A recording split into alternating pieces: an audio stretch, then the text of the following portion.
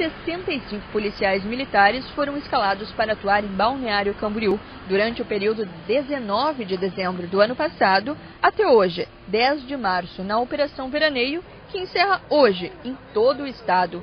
A pergunta de comerciantes, moradores e turistas que frequentam Balneário Camboriú é uma só. É, e aí como é que fica? Como é que a gente vai ficar? A nossa segurança. A partir do dia 15 deste mês, a situação tende a piorar. O efetivo da Polícia Militar de Balneário Camboriú vai sofrer uma redução de até 15%, por conta do período de férias dos policiais.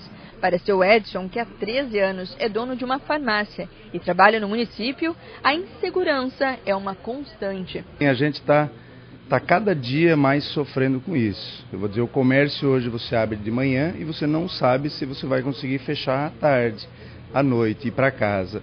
Poderiam melhorar o policiamento, porque várias lojas já foram assaltadas aqui, inclusive a do lado da minha, Imagens como esta, que aconteceu na madrugada de segunda para terça-feira da semana passada, estão cada vez mais comuns em Balneário Camboriú.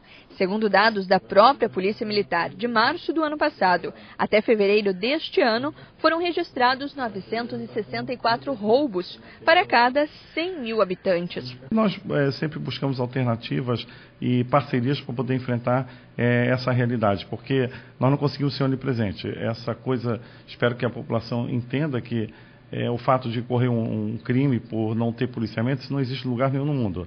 Nós não conseguimos ser onipresentes. Na quarta-feira passada, depois do ocorrido na Praça Almirante Tamandaré, foram definidas algumas ações entre Prefeitura de Balneário Camboriú, Guarda Municipal, Polícia Militar e Polícia Civil. Tudo para manter a ordem e a sensação de segurança na região.